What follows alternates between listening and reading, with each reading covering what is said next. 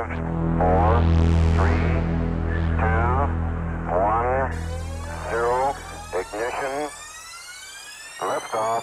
guys, welcome to MB Tech Talker. My name's Matt. So in this video, I'm going to show you how I configure a basic URL filtering profile so that you can safely enable a web access policy and apply to your security policy rules. I'm going to be doing all of this using a VM Series Palo Alto Next Generation firewall inside of VMware Workstation. Okay, so for those of you who don't know what URL filtering is, it's used to categorize websites by content type and malicious activity. When URL filtering is enabled, all web traffic is checked against Palo Alto Network's URL filtering database called PanDB. PanDB contains millions of websites that have been categorized these URL categories can be used as a match criteria in your security policies, but more importantly prevents users from browsing malicious URLs, exploited web pages and watering holes where legitimate sites become compromised. Using URL filtering and App ID together is an invaluable tool for securing web traffic. So now we know a little bit about URL filtering. How does it actually work on the firewall? Well, when a user accesses a URL that they've not visited before, the firewall checks PanDB for the site's category and saves it in the firewall's cache. As the firewall saves new entries, any old URLs that have not been accessed recently are then removed. This provides an accurate reflection of the traffic within the network. So when the firewall checks PanDB for a URL, it also looks for critical updates such as URLs that have previously qualified as benign but are now malicious. Every 30 minutes the firewall checks PanDB for such updates. Okay, so let me share some information about URL categories. At the time of recording, there are 72 URL categories. That's just too many to discuss individually on the video, However, I recommend visiting this Palo Alto knowledge base article. On this page, you'll find a list of URL categories with a detailed description and example websites for each of the categories. Another invaluable website is the Palo Alto tester site page, which you can find at the top of this knowledge base. So if you click on this link, this takes you to urlfiltering.paloaltonetworks.com. And from here, you can test how PanDB categorizes a given URL.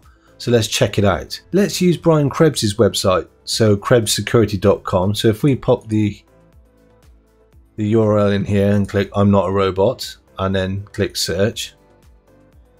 And as you can see, the category is computer and, and internet info. And it's also categorized as low risk. It also provides a description of the website and other example websites that are in the same category. I'll put, put both these Palo Alto website links in the description. Okay, so just a quick reminder of the lab topology before we jump into this lab. This diagram is based on my Palo Alto firewall lab using VMware Workstation video. If you haven't watched it yet, I strongly suggest watching it ASAP so you can follow along in labs just like this one. Okay, so to get you up to speed, you may have heard Iron Skillet being mentioned in my signature based security profiles video. So in summary, Iron Skillet templates are used to configure next generation firewalls based on existing best practice recommendations from Palo Alto Networks. With regards to URL filtering, Iron Skillet only blocks known malicious categories and not high risk categories such as copyright infringement. So in this lab, I'm going to use best practice recommendations from Palo Alto Networks and block the following categories. So that's going to be malware, command and control, phishing, and greyware. However, this being said, you can change which categories you want to block to align with your web browsing policy. Okay, so I've logged into the firewall. So let's get started by going to the Objects tab and then down to Security Profiles and then URL filtering. And what we're going to do is clone this predefined default URL filtering profile by highlighting it and then clicking clone and then click OK. Then we're going to rename this to outbound URL because this is going to be for outbound web browsing. Next thing we're going to do is we're going to go over to the site access column and click the down arrow and then we're going to do set all actions to alert. And we're going to do the same for user credential submissions by going to set all credential submission actions to alert. Then we're going to search for malware and we're going to change that to block and the same for the user credential submission. And then we're going to do the same for command and control. So block, block, phishing, block, and block, and then finally grayware, block, and block. And now we can click OK. So you can see that there are now 68 alert categories. So these any traffic that matches any of these alert categories will be logged in the URL filtering um, logs. And then we've got the four block categories. So malware, command and control, phishing and grayware. Okay, so at this point, we've configured the Iron Skillet best practices um, block categories.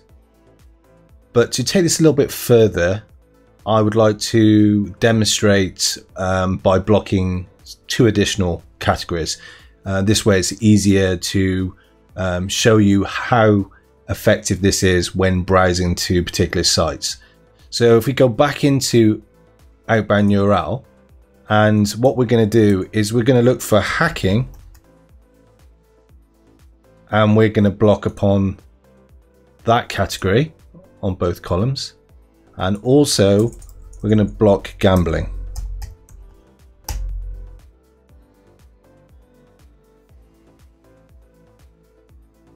As I said, it's it's easier to demonstrate instead of trying to go to a malicious site or a greyware site. We can just block on these categories, test um, on the Windows 10 client, and then uh, we can then uh, verify it. So let's just click OK on that, and uh, we can do some testing. Additionally, I'm going to create three custom URL categories which can be used in security rules and URL profiles. So this time we're going to go to custom objects um, and we're going to choose URL category and then we're going to create three new placeholders. So this is going to be blacklist and that's a URL list and click OK. And then we're going to add whitelist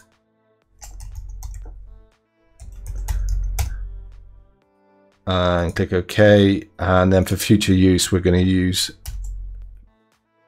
custom no decrypt. And then click OK. Okay, before we add the URL filtering profile to the security profile group and to the security policy, let's just check web access from the Windows 10 lab client. So let's go to, I don't know, let's try bbc.co.uk um, to start with. BBC. And then just click on, yep, so we, we know that we can get to the BBC website. Um, let's try, um, we're going to do Kali Linux website, which is kali.org. So Kali Linux, let's put that one in. Can we get to that? Yes, we can. No problem. And then finally, let's let's try um, a gambling website as well. Which let's try Sky Bet. So let's see. So this is an online betting website, and we can access that as well. So this is expected. We can browse the sites. Uh, now we can go back to the firewall and check the logs. Before we look at the logs, let's just quickly review the policy. So we've got a general internet access policy um, allowing DNS, Google-based SSL and web browsing. So if we click the drop down and go to log viewer, it will filter on just this rule. And as you can see, we've got general internet access traffic. So, and that, that's the traffic that we tested the sites on. If we go to the URL filtering log, you can see that we've got no logs because we've got no URL filtering profile attached to the policy. So if we take a look at this, this profile here, it's called outbound.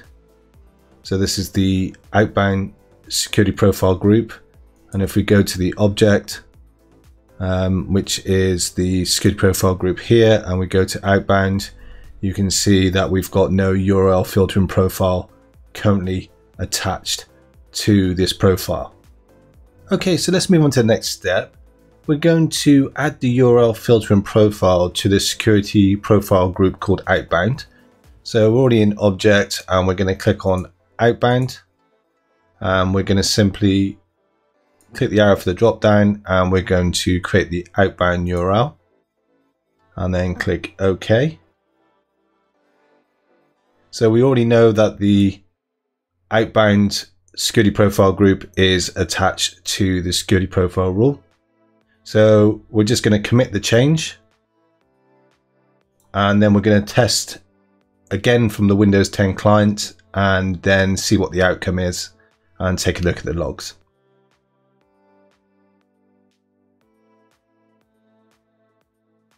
Okay, so now we're ready to do some testing. I'm over at the Windows 10 lab client. Let's open up a browser and let's go to uh, bbc.co.uk so we can access that fine. Um, what about um, Kali.org? So www.kali.org. Unable to access that site. And what about um, Sky Bet? So if I click on that original link, I can't get to Sky Bet either.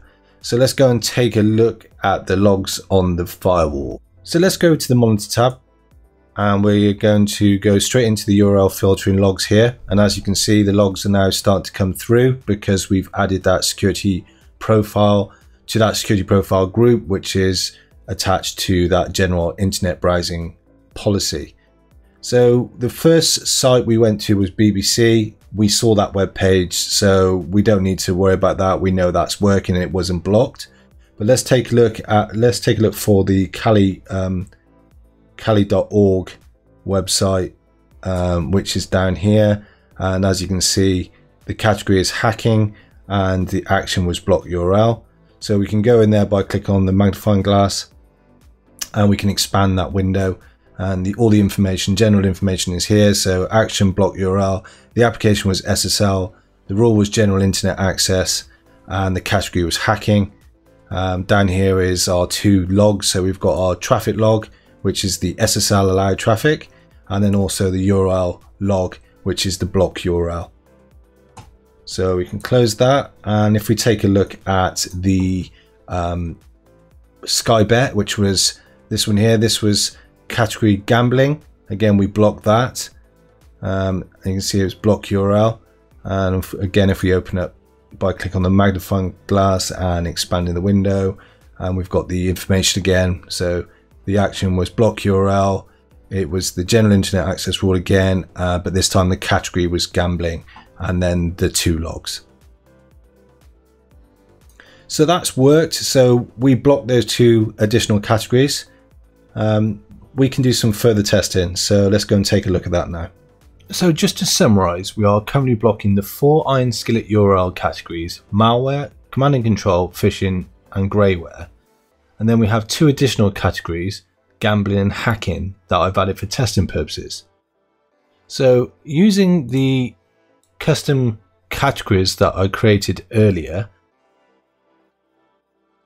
the black and white list, I'm going to add bbc.co.uk to the blacklist and block access, even though it's categorized as news, which is normally allowed. And then I'm going to add both Kali.org and Skybet to the whitelist, which will be configured to allow. Essentially, I'm creating URL fields and exceptions. So let's do that now. Okay, so first of all, let's open up Blacklist. And we're going to add star.bbc.co.uk. The star is a wildcard. It will match anything before the bbc.co.uk, so it could be HTTP or HTTPS, for instance. So let's click OK on that. And then let's open up the whitelist and we're going to add star.kali.org and also the Skybet site, which is star.m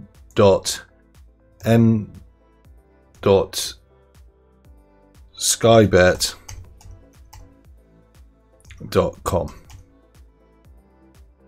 and then click OK.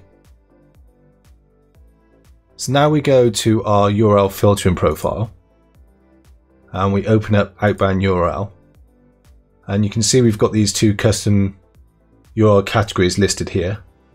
So ignoring the custom no decrypt, that's for uh, a future video. But the blacklist, so what we're going to do on here is we're going to change that to block. And then the whitelist, we're going to set that to alert to make sure it's allowed and also going to generate a log for the allowed traffic. And then click OK and then commit. So once that's committed, we can go back to the Windows 10 clients and retest the access to those websites and take a look at the outcome.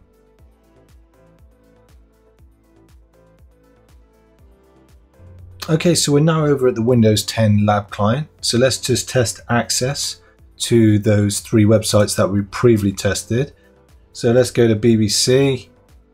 Originally this was accessible. So now we can't get to bbc.co.uk because that's been added to the blacklist. Um, let's try Kali, Kali.org. Now we can get to Kali.org, but originally that was categorized as hacking, but we've added this to the whitelist, so this is now allowed. And then finally, let's go to um, the Sky Bet. So the, the, gambling site. So Sky Bet, and we're going to click on this. And this isn't working, uh, which is strange.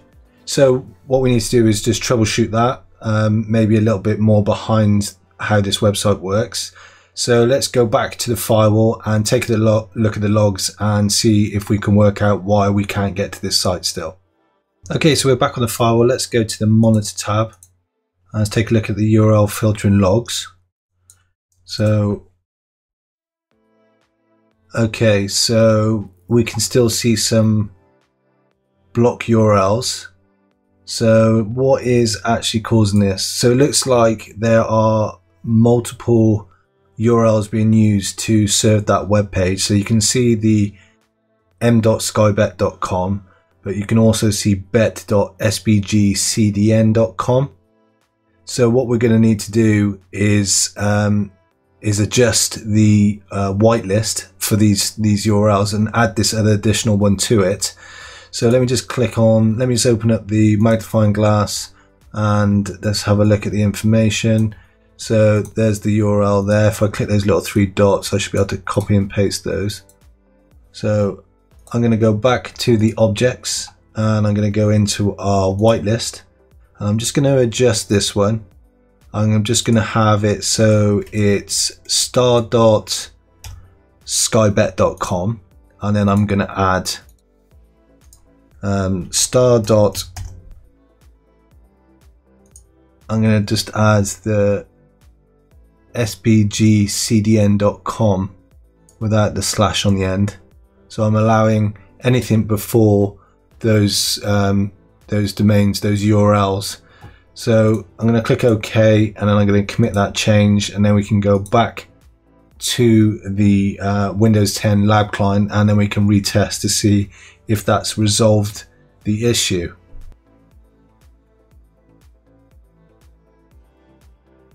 Okay, so we're back on the Windows 10 lab client. Let's open up a browser and let's go to bbc.co.uk.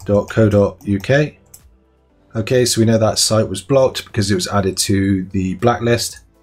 Let's go to kali.org. So this is now allowed, even though this was categorized as hacking and it was blocked originally, we've added this to the whitelist, so that's working. So finally we go to Skybet. This one was being a bit problem problematic. Uh, let's click on that. Okay, so this is now working. So this one was a bit tricky to get working. So there was actually two URLs that we needed to add to the whitelist to, to get the full function functionality of the site. Um, so that's good. So that is the right outcome. That's been a successful lab. Let's go back to the file once more, review the logs and wrap this up. Okay, so we're back over the firewall. Uh, before we review the logs again, let's go into objects and let's go into the URL filtering profile and let's go to the outbound URL profile that we created. So we added the blacklist and we've added the whitelist. So just to make it clear that these sit above the normal predefined categories and these are processed first. That's why when you add a URL that is um, in the uh, allow categories and you block it, it's going to be processed top down and it's the same for the whitelist.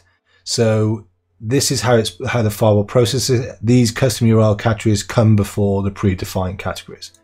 So we go back to the uh, monitor tab and look at the URL filtering, if we look for the whitelist category and we filter the logs on that, you can see that Skybet and Kali.org um, have been added to the whitelist category. Normally both of these would be blocked, so Skybet would be categorized as um, betting and Kali.org um, would be categorized as hacking.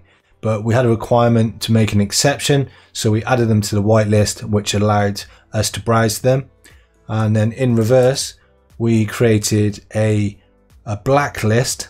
So if we search for blacklist and then we filter logs on that, you can see we added bbc.co.uk to the blacklist and blacklist is um, blocked even though bbc.co.uk would be categorized as news and the predefined categories would allow that. Again, we've made an exception and we put this in the blacklist and which is blocked. So this has been an interesting lab. Um, I hope you found it um, interesting and useful. Um, but that's the end of it and I will see you on the next one. Okay guys, that's it for today's video. Thanks for watching. Over the next coming weeks, I will be uploading more videos where I will be sharing more content about Palo Alto firewall features and technologies and how to configure them. If you like this video, I'm sure you know what to do by now, but just in case you don't, please hit that like button below and share with your friends and be sure to hit that subscribe button and the bell to get notified every single time I post a new video. If you have any ideas of video content you want me to create, please put them in the comments below as I would love to hear your feedback on any aspect of my channel. Please keep watching and I will see you in the next video. Thanks.